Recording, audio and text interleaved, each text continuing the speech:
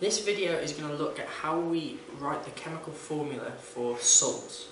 Salts are examples of ionic compounds and are formed between the reactions of acids and bases or acids with metal carbonates.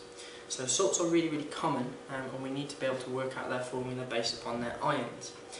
Now this is a copy of the periodic table you will get given in your exam and the first thing you should do when you get walk into your exam is write on it um, so that you don't have to remember every single ion that's on the periodic table. Now, the first thing you should do is look at group 1, which is this column here, and at the top of that, write plus 1. That's because every element in group 1 has one electron in its outer shell, so it will lose that electron and form a plus 1 charge. Group 2 will all form pl plus 2 charges, we then go over to group 3, which will form plus 3. We miss out um, group 4, because carbon will form covalent bonds rather than ionic bonds. And then group 5, we put minus 3, group 6, minus 2, and group 7, minus 1, because they will gain electrons rather than lose them. Now, we've obviously missed out the transition metal element, so any element that falls in the middle of the periodic table here okay, we can always assume is a plus 2 charge.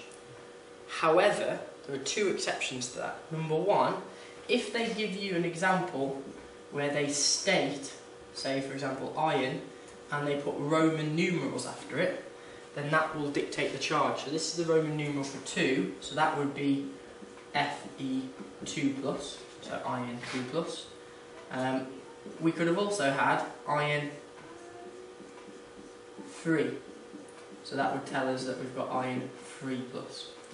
The only other exception is silver, which is Ag, which just forms plus 1 charges. And those are the only exceptions you need to remember. So all of the others we can assume, for the time being at GCSE level, that they are plus 2 charges. So that is to help you remember any iron in the periodic table that is an element on its own, what its charge is. So if you see an element you're unsure of, so if it says sulfur, you look for sulfur on the periodic table, look what group it's in, and see what charge that is. So it has a plus 2 charge, as does oxygen. If you were looking for sodium, sodium's in group 1, so it has plus 1 charges. If you were looking for magnesium, that's in group 2, so it forms plus 2 charges. Aluminium, plus 3, etc. If you get a metal that's in the middle, for example, copper, copper is in the middle of the periodic table here, there, that means it's a plus 2 charge, unless it says otherwise with Roman numerals. So now, we need to be able to use that to calculate the formula of simple salts. Okay, so there are two methods by which we can calculate the formula of a salt, and we'll cover both, um, but we'll focus on one in particular.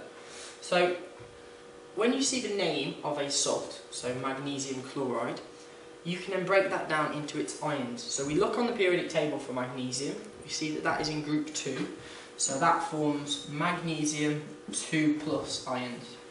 Then we look on the periodic table again for chlorine, and we see that chlorine forms minus 1 ions. Now any ionic salt, the charges have to balance out. So because magnesium is plus 2 and chlorine is minus 1, they have to balance. So I need two chlorine atoms to cancel that out. Now a way I could write that is I've got plus 2 and I can add that to my minus 1 charge, so that equals minus 1. So that doesn't equal 0, so I have to add an additional chlorine so that I've got two uh, minus charges so that it equals zero, so that they cancel out. So that would be one method to get my end formula, which is magnesium Cl2, MgCl2. Now, some people are able to do that method very quickly and easily in their heads, however some people struggle with that method, so we're going to look at an alternative as well. Once you've wrote down your two ions, what you can then do is just write out the symbols again. But this time, to work out how many you need, you multiply them by the charge on the opposite ion. So to work out how many magnesiums I need, I look at the number on the chlorine, so I only need one magnesium atom. To work out how many chlorines I need, I look at the number on the magnesium, so I need two of those. And then all I do as my final step is write that out neatly again. So if I've got a 1, I don't need to write that. So I can write MgCl2. Let's have a look at another example, this time sodium oxide. So sodium is in group 1 of the periodic table, so you look on your periodic table and see that it's plus 1. And oxygen you'll see is in group 6, so look for oxygen. Because it's in group 6 that means it has minus 2 charges. So we can do the same steps again, so write out just the symbols and to work out how many sodiums I need I look at the number on the oxygen so I need 2. And to work out how many oxygens I need, I look at the number on the sodium, so I need 1. So again, I could write it out neatly as Na2O. Remember that is the chemical formula of the salt. If I was doing in a balanced equation, I may still need several multiples of this. But that is the basic formula. So now let's look at when we've got, rather than just two elements, when we're adding one ion and a polyatomic ion together.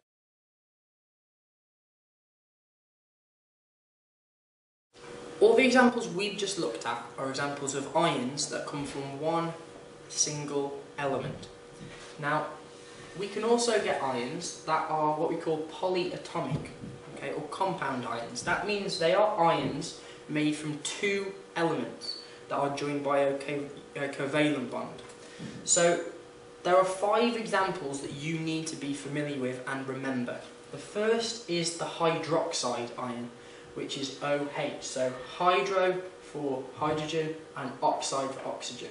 And that always has a minus one charge, always. The next one is sulfate. Now the sulfate ion is SO4 2 minus, so it has a minus 2 charge. Now to help you remember that, remember that ate means the element, which in this case is sulfur, with oxygen. So think of it like eight, like mate. So its friend is oxygen, so it's always with oxygen. So if you see the phrase ate at the end of a word, that means it's the element with oxygen. So SO4 minus 2. Nitrate, we've got the ate again. So it's nitrogen and oxygen, but it's NO3 this time, and it's minus 1. Carbonate is carbon with three oxygens, and that's always minus 2. And the last one, ammonium. The ammonium ion is the only one of these that is positive, and that's NH4, and that's plus 1 as well. So these are the five polyatomic ions that you just have to learn. Um, you will not be asked to use the phosphoric um, acid ion, the phosphate ion, in a chemical equation. You will be asked to do that with word equations, but not in symbols, so you don't need to learn that. So now let's have a look at some examples of mm, salt compounds with polyatomic ions. So we do the same process again. So potassium, we look on our periodic table, is in group 1, so it has a plus 1 charge. And our nitrate is nitrogen with oxygen, and that is always NO3 minus 1. That's something we've just got to learn. So at that point, we multiply each ion by the charge on the opposite ion. So potassium is we multiply it by the number on the nitrates, that's we need one of those. And when I do my nitrate, remember the nitrate is a group of ions, so the whole group of them I need to times by the number on the potassium, so that's only one. So that one's straightforward and is KNO3, which should make sense if you think about the first method we looked at. They just need to balance, so plus 1 balances with minus 1. If we look at copper hydroxide, copper is in the middle of the periodic table, so that's an example of one that we know is just plus 2. So copper is plus 2, and hydroxide is OH minus, and it's minus 1. So we put our copper and multiply that by the charge number on the hydroxide, which is just 1, and our hydroxide, again we have to multiply all of that group by the number on the copper, which is 2. So the formula for copper hydroxide is Cu brackets HO for the hydroxide and then we need two of those to balance. Last example we'll look at is ammonium sulfate. So both of these are now polyatomic ions. So ammonium is NH4 and that's plus 1 and sulfate is SO4 2 minus. And again you just have to learn the formula of those polyatomic ions. So we write them out again. So NH4 and to work out how many of those we need, we times it by the charge on the sulfate, which is 2. And then we write out our sulfate. And to work out how many of those we need, we times it by the charge on the ammonium, which is just 1. So to write that out neatly, I can now put my NH4, and we need two of those, and I don't need to write the 1, so I can then just put SO4. Now naming salts requires you to use the information you are given in the periodic table and to remember these ions, the hydroxide ion, the sulfate ion, the nitrate ion, the carbonate ion and the ammonium ion. If you don't understand any of the points, watch the video back and break it down and follow the steps. You'll be given plenty of examples and lessons and if you're still not sure, speak to your teacher.